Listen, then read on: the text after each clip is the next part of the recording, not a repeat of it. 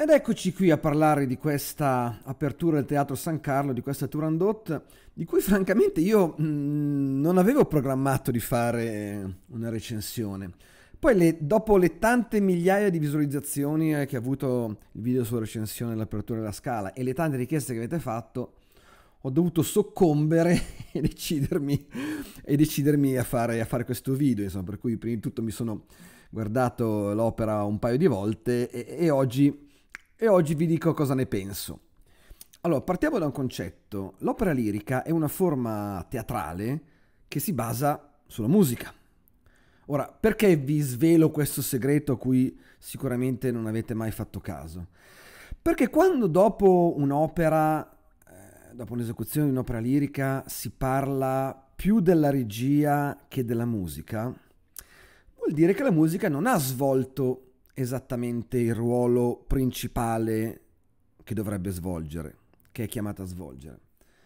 E siccome eh, questa colpa non la possiamo certo dare a Giacomo Puccini, perché Turandot è un'opera di una bellezza e di una qualità compositiva stratosferica, io dico sempre che Tosca è la mia opera preferita del Novecento, ma insomma, in tanti, per tanti aspetti Turandot è anche, le è anche superiore. E quindi quando eh, non possiamo dare colpa al compositore vuol dire che qualcosa negli esecutori non ha, fatto, non ha funzionato come doveva funzionare, altrimenti staremmo qui a parlare più eh, delle arie, dei concertati, del coro che non della regia. E invece devo dire che mi è sembrata una Turandot più di quantità che di qualità. Cioè, al netto di Rosa Feola, che è veramente una voce molto bella, che mi piace molto, eh, non abbiamo sentito delle belle voci, abbiamo sentito delle grandi voci, nel senso fondamentali, insomma, per quest'opera, comunque delle voci eh, di, di, con, con, una quantità di decibel importanti, voci strutturate, che al netto di di qualche cosa di intonazione e di diverse scelte interpretative che potrebbero essere considerate quantomeno eh, opinabili, hanno fatto il loro lavoro.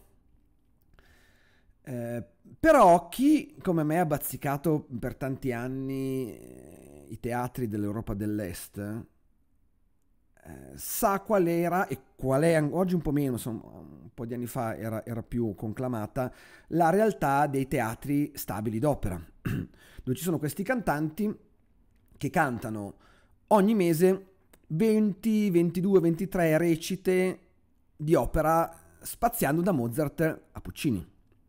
E ovviamente tutti sapete che questa cosa non si può fare nel senso, no, non si può fare, si può fare, si fa, la fanno, eh, però ovviamente non si può fare se teniamo la qualità e la giustezza delle, vo- la giustezza delle voci come faro eh, della scelta di, di, un cantante. Invece i cantanti lì sono eh, stipendiati al teatro eh, e quindi insomma il teatro tutte, in tutte le occasioni in cui li può occupare li occupa che debbano cantare, ripeto, un'opera giovanile di Mozart o un Wagner o, o, o un Puccini, il cantante è quello.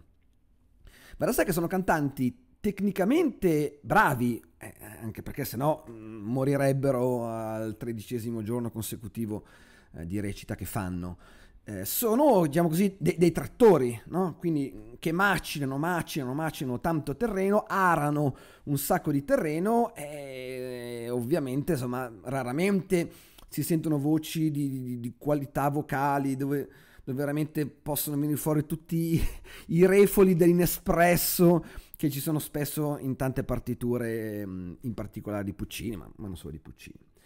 E quindi, come dire, io l'impressione che ho avuto, ripeto, al netto di, di Rosa Feola, anche Pang non, non era male, devo dire, eh, è di, di, questo genere di voci, cioè di voci ehm, a posto, ovviamente, altrimenti un'opera del genere non la regge, muori, muori molto prima, eh, che però insomma macinano molti più chilometri che non qualità, ecco.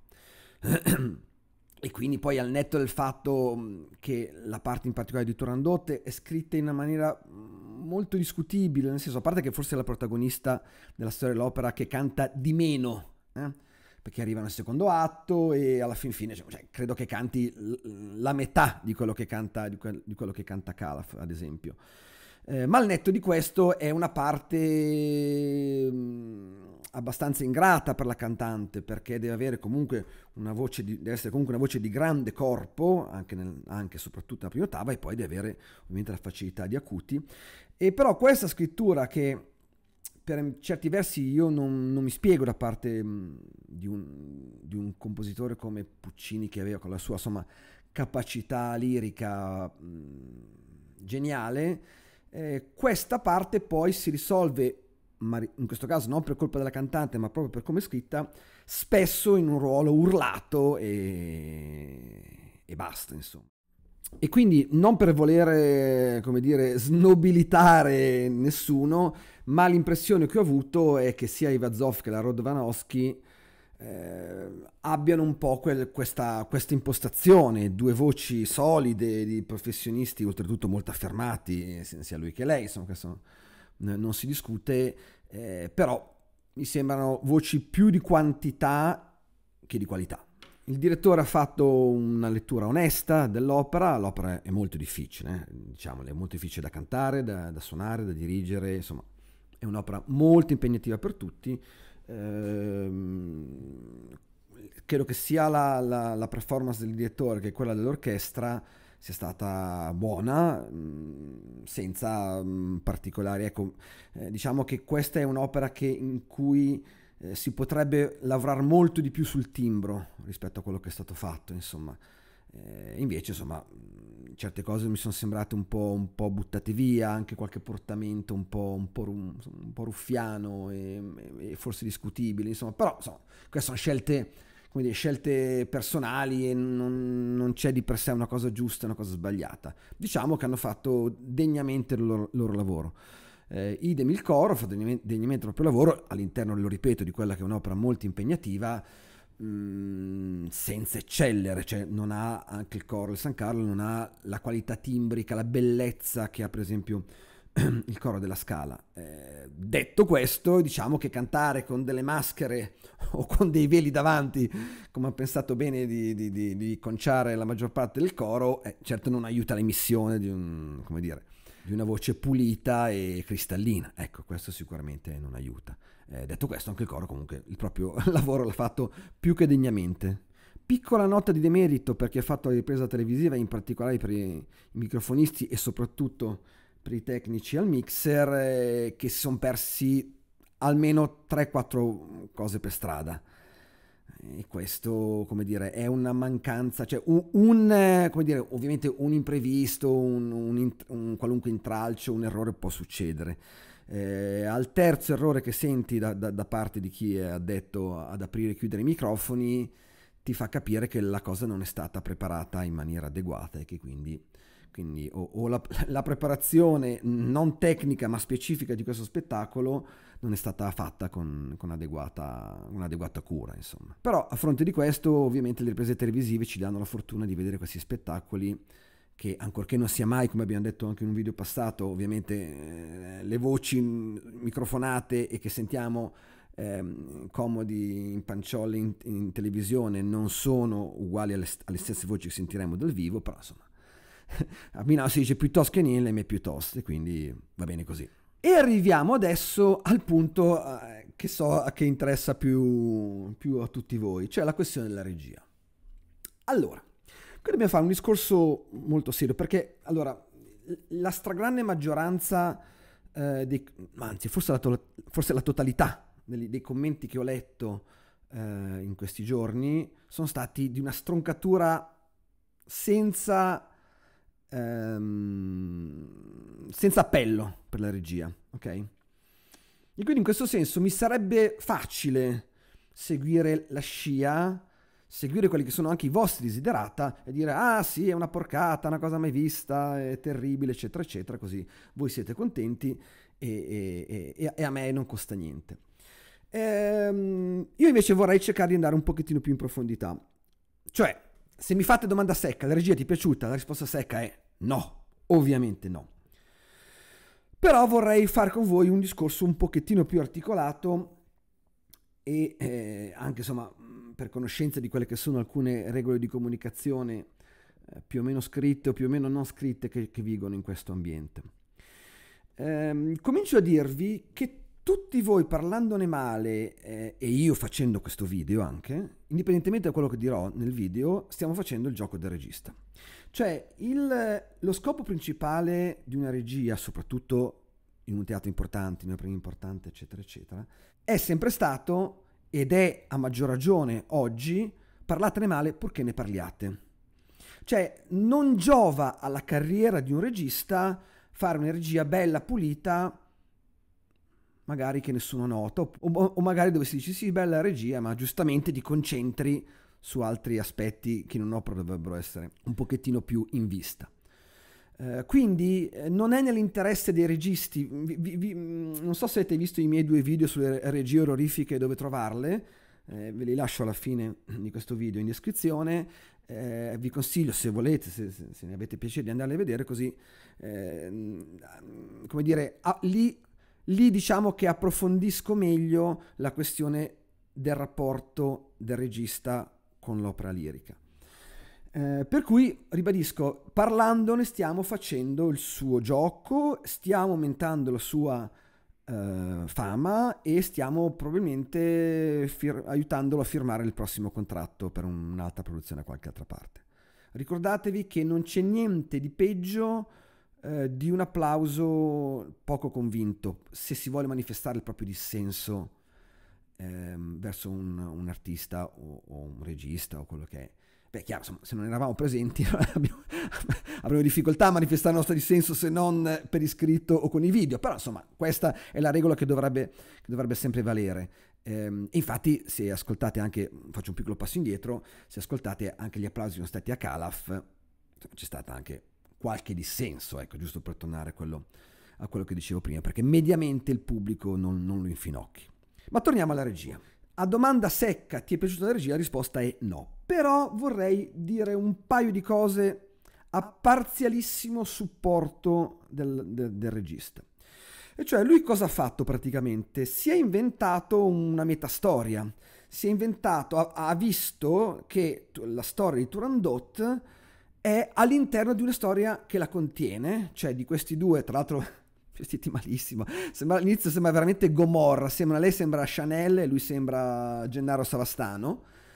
Um, sono in macchina, stanno discutendo di, di, una storia in cui c'è lei, c'è Liu, ma insomma che non ha niente a che fare ovviamente con la storia narrata nell'opera. Si parlano come di ex fidanzate, ah no, tu non l'hai mai sopportata, quella si è suicidata, adesso mio padre è morto, insomma c'è il funerale del padre, tutta una serie, una serie di cose. Per cui una storia che non c'entra niente con la storia di Turandot. Dopodiché loro fanno un incidente d'auto, a seguito del quale eh, si finisce praticamente in sala operatoria e quindi da lì parte l'opera, quindi loro sono feriti gravemente ma non muoiono in questo incidente d'auto, vengono operati eh, e praticamente, quindi da lì parte l'opera che è praticamente, se vogliamo, una cosa onirica, un sogno o se preferite un qualcosa del, legato a un'esperienza di, di premorte, legata a quello che alcune persone dicono che quando sono sotto anestesia totale le operazioni si vedono, insomma vedetela voi, comunque diciamo che l'idea di base è questa qua. La storia di Turandot è vista come un qualcosa all'interno di questa mini storia che la contiene. Ed è comunque un'idea, mm, non vi voglio dire che non l'abbia mai fatta nessuno, però comunque è un'idea. Eh, tenete poi presente un'altra cosa, che eh, Turandot è una fiaba fondamentalmente, quindi non, è, non ha in questo senso la drammaturgia di, di, una bohème o di una tosca, ok? È una fiaba con anche una, una serie di, di cose che insomma che stanno veramente poco in piedi dal punto di vista strettamente della trama, magari un giorno ci faremo anche una trama raccontata male, però per la stessa ragione per cui spesso non la faccio per le opere buffe, eh, questa qua essendo una fiaba presta più facilmente il fianco a questo tipo di critica e quindi non mi diverto a fare questo tipo di critica. Certo che però se partiamo da questo concetto che quindi essendo una fiaba è, è più soggetta a cose anche un po' strampalate o eccentriche, ehm, è chiaro che vederla come un sogno o come una visione o come un'esperienza di premorte di questi qua che nel frattempo stanno operando, eh, come dire, giustifica tutto, cioè ti piace vincere facile in questo senso, cioè mentre non potremmo fare certe cose appunto nella bohème perché non avrebbe, eh, non avrebbe un senso eh, razionale ovvero sia certe azioni, immaginate di Mimì che a un certo punto si mette a giocare col cubo di Rubik, ecco, spara una cavolata, ecco, non avrebbe nessun senso razionale questa cosa, quindi o la rivedi completamente o certe azioni a, a, a Bohème non le puoi far fare. In Turandot con la fiaba è un po' più facile, in questo senso perché appunto il sogno può giustificare tutto. E anche noi quante volte abbiamo sognato dei, delle cose anche drammatiche, dove siamo spaventati o morivamo, ci seguivano, ci sparavano e magari all'interno di quel sogno c'era un particolare mm, balzano, non so, c'era uno che ci inseguiva con un cappello buffo, cioè può, può succedere, il sogno va bene tutto e giustifica tutto e, e va, tutto, va, tutto, bene. Quindi questa è l'ambientazione all'interno della quale viene fatta svolgere, viene fatta svolgere Turandot.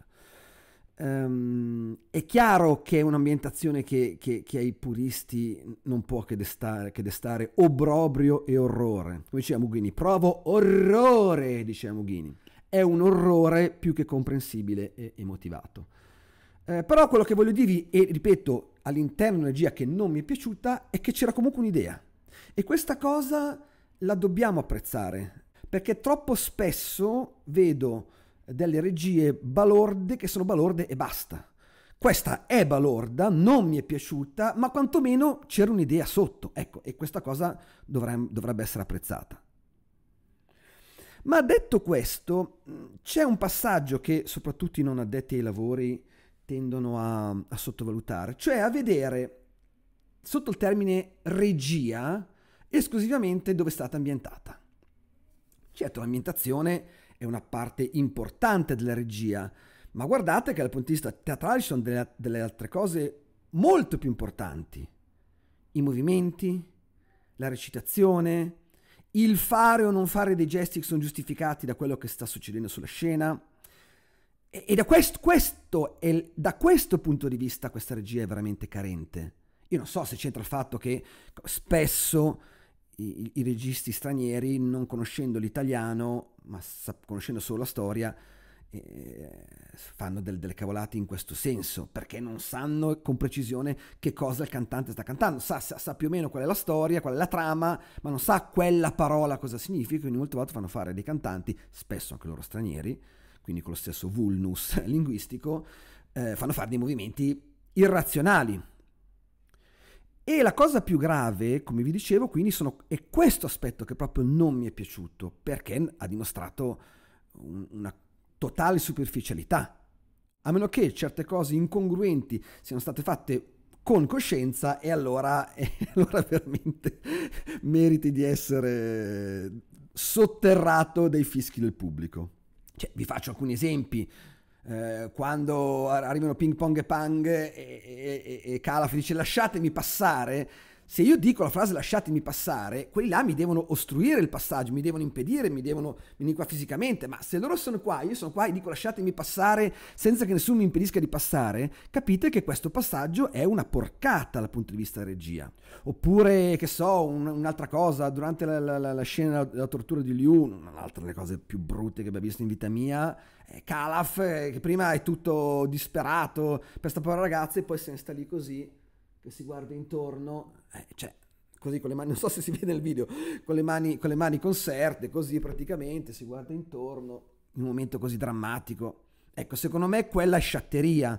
Cioè, ripeto, non voglio pensare che sia una scelta precisa perché altrimenti allora veramente siamo messi molto male. Temo che sia invece superficialità e sciatteria da parte del regista. Quindi guardate queste cose più che l'ambientazione, i, movimenti scenici, la recitazione, gli sguardi, dove i cantanti sono rivolti, stanno rivolti verso l'interlocutore o sono rivolti dall'altra parte, cioè queste sono cose importanti dal punto di vista teatrale, questo è proprio è l'ABC della regia teatrale del, del, primo giorno di accademia. Oppure durante la scena della tortura e della morte di Liu, dove la povera Rosa Feola, la brava Rosa Feola, è costretta insomma, a fare dei movimenti assolutamente incongruenti e, e, sbagliati dal punto di vista proprio scenico. Oppure quando dovrebbero torturarla non resisto più, non resisto più e in realtà nessuno l'ha neanche sfiorata. Cioè questa cosa è ridicola. E non vi dico aiutatemi, aiutatemi quando lei muore che si mette in testa sto cestino di vimini, prende una barca al guinzaglio e, e se ne va via.